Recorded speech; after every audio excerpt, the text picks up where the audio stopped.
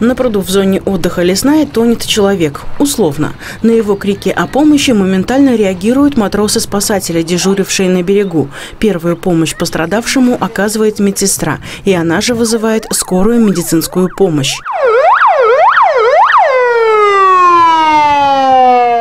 За происходящим на пляже внимательно наблюдала специальная комиссия управления гражданской защиты.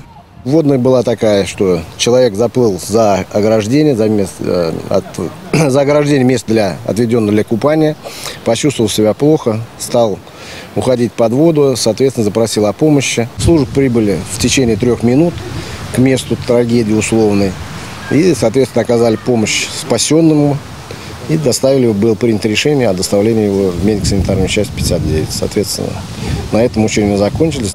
Во время учений отрабатывалась слаженность работы экстренных служб города, полиции, управления гражданской защиты. Проверялась правильность и последовательность действий матросов-спасателей комбината благоустройства, которые дежурят в период купального сезона на пляжах в зонах отдыха и врачей скорой помощи. Приходим, начинаем смотреть состояние организма какое там, потому что вода попадает не только в желудок, но и распространяется в кровь.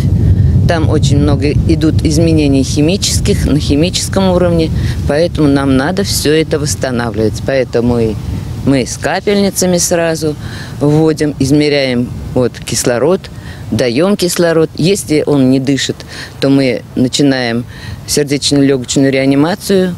По словам помощника директора управления гражданской защиты Сергея Соколова, первые в этом году летние учения на воде показали, что все службы готовы к действиям в экстренных ситуациях. И все же отдыхающим стоит помнить о правилах безопасного поведения, купаться только в разрешенных местах и не заходить в воду в состоянии алкогольного опьянения.